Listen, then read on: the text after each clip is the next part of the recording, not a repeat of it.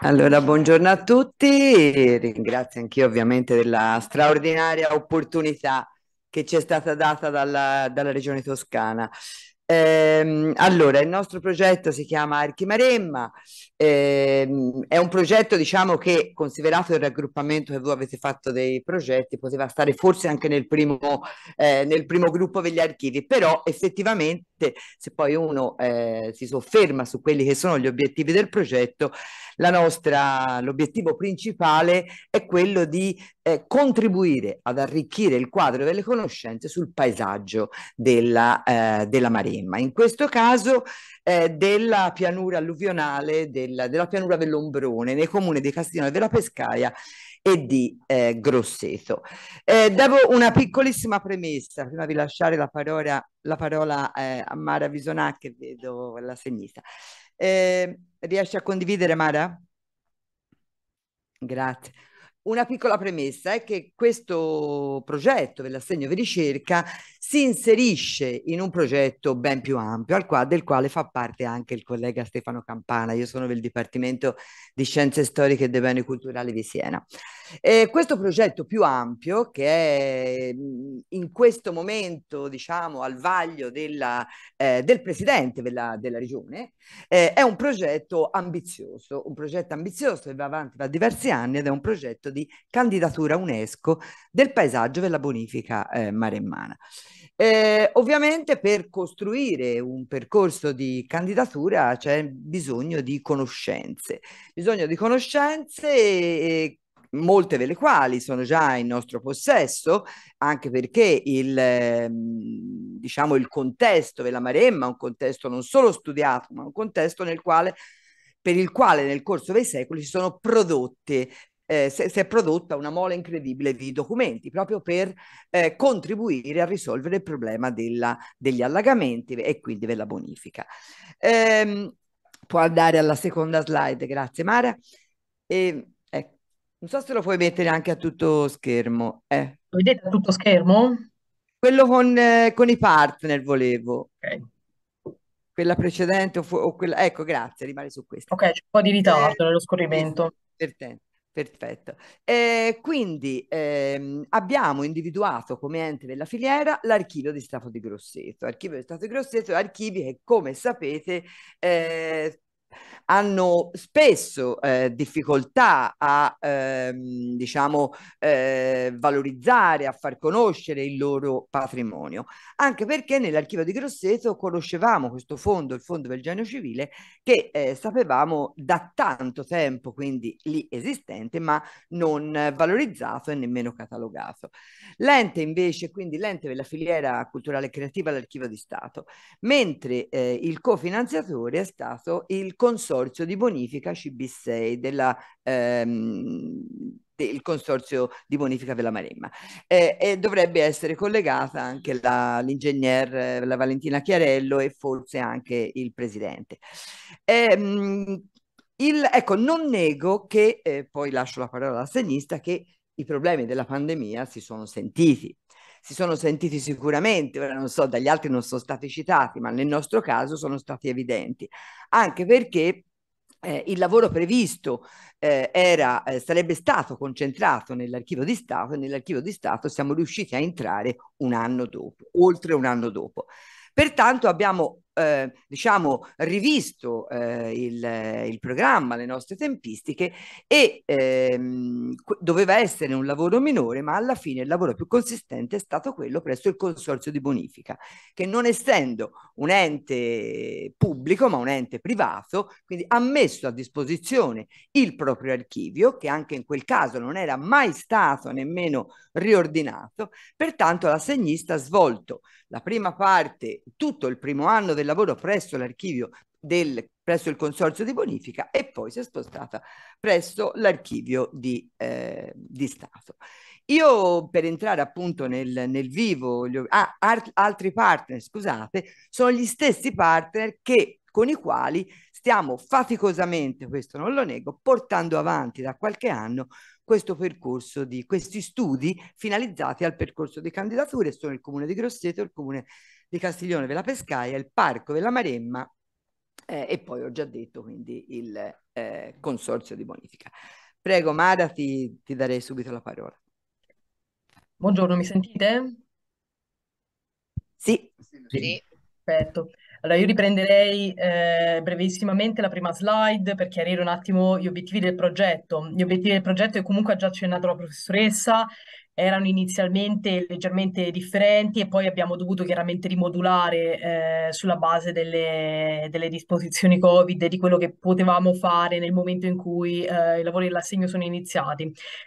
Fondamentalmente eh, è un progetto che si articola, possiamo dire, su due eh, filoni principali, quello della ricerca vera e propria, quindi quello della, della schedatura e dall'analisi del materiale in archivio, e poi sec un secondo filone più dedicato alla, alla, diffusione dei risultati del progetto, che comunque rimane un progetto che mira ad avere un, un notevole impatto sulla comunità locale. Come accennava la professoressa, appunto, l'ambizione è quella di produrre poi una candidatura UNESCO del progetto dei paesaggi di bonifica della Maremma, probabilmente una candidatura congiunta con altre aree per valorizzare proprio eh, quello che è eh, il paesaggio di bonifica in generale. Eh, gli aspetti rilevanti di questo progetto, come eh, già accennato, sono quelli legati agli archivi, archivi di cui si conosceva chiaramente l'esistenza, ma di cui non avevamo alcuna cognizione del contenuto. Eh, il primo anno appunto ci siamo concentrati sul, sul, sull'archivio storico del Consorzio di Bonifica, eh, in questo caso abbiamo dovuto proprio eh, andare a cercare il materiale, il materiale non era custodito tutto eh, nello stesso posto, chiaramente la maggior parte sì, ma abbiamo dovuto eh, cercare sulle tre sedi eh, della, del consorzio per capire se c'era stata dispersione del materiale, perché è materiale che viene tuttora utilizzato, quello del consorzio costituisce l'archivio storico, è un archivio vivo, possiamo dire, nel vero senso della parola, perché viene tutt'oggi utilizzato frequentemente per eh, fornire un background storico ai, ai progetti tutt'oggi in corsa. Dunque, una volta radunato tutto il materiale in un'unica sede, una volta individuate le serie in cui abbiamo diviso il materiale, alcune erano già eh, facilmente individuabili, la serie dei progetti e la contabilità allegata, ci sono state altre serie come quella del, um, delle, de, delle, attività amministrative e di gestione del, del, consorzio che abbiamo dovuto ricomporre perché erano faldoni che erano stati eh, dispersi presso, presso i vari uffici.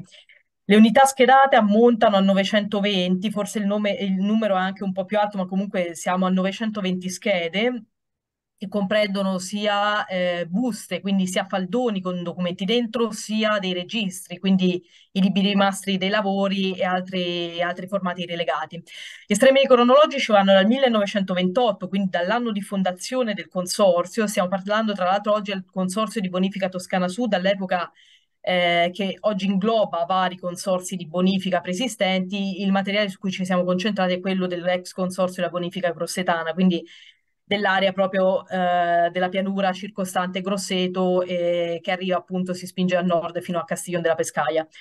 Il materiale è composto in maniera molto varia, ci sono progetti, ci sono disegni, ci sono appunti anche, c'è contabilità, corrispondenza e articoli di giornali. Evidentemente c'è stato un ufficio stampa che si è occupato anche di raccogliere questo materiale. Spostandoci invece l'anno successivo sull'archivio storico di Grosseto, abbiamo avuto modo di schedare la parte relativa alle bonifiche eh, della pianura eh, grossetana e di Castiglione relativa al secondo versamento del genio civile.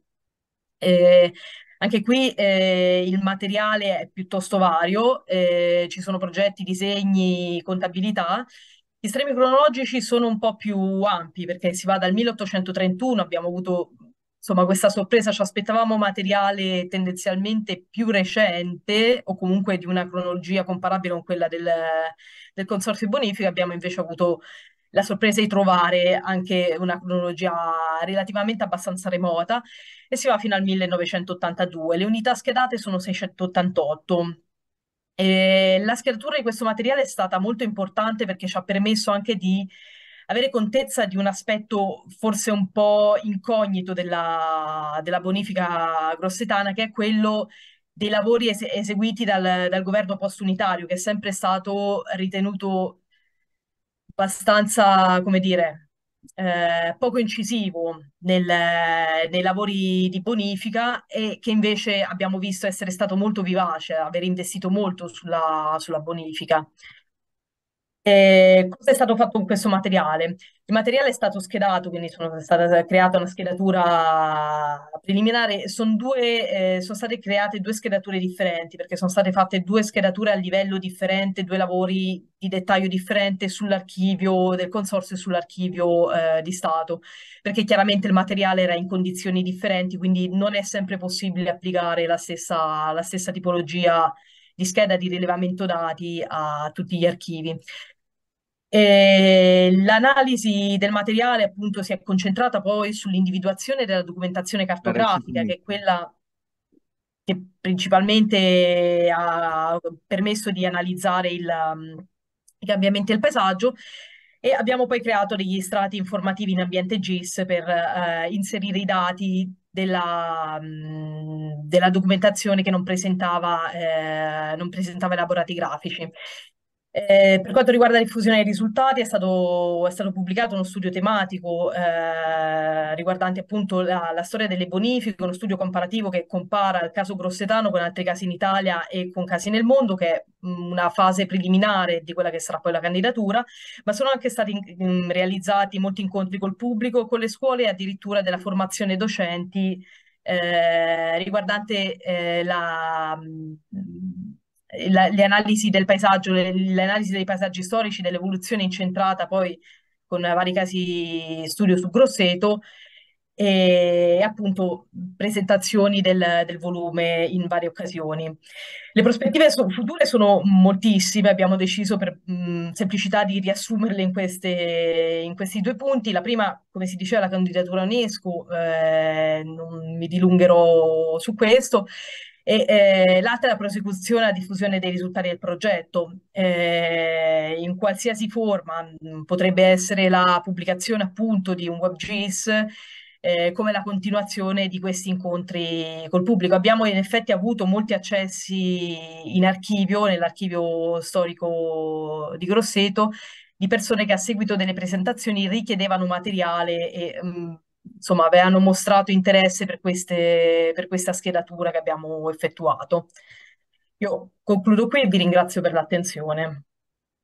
Posso aggiungere una cosa brevissima eh, nelle, diciamo, nelle possibilità di, di, di eh, espansione, insomma, diciamo, di questo, di implementazione di questo progetto che era una delle nostre, uno dei nostri obiettivi e che non è stato realizzato, sarebbe quella di mettere in sinergia non solo implementare questa banca dati, ma metterla in sinergia con, con altre banche dati già, di cui già disponiamo, di cui già dispongono anche gli enti locali, quindi creando ovviamente, ampliando la, il quadro delle conoscenze sempre appunto sull'ambiente GIS, eh, quindi arricchendolo in questo modo e integrandolo. Grazie.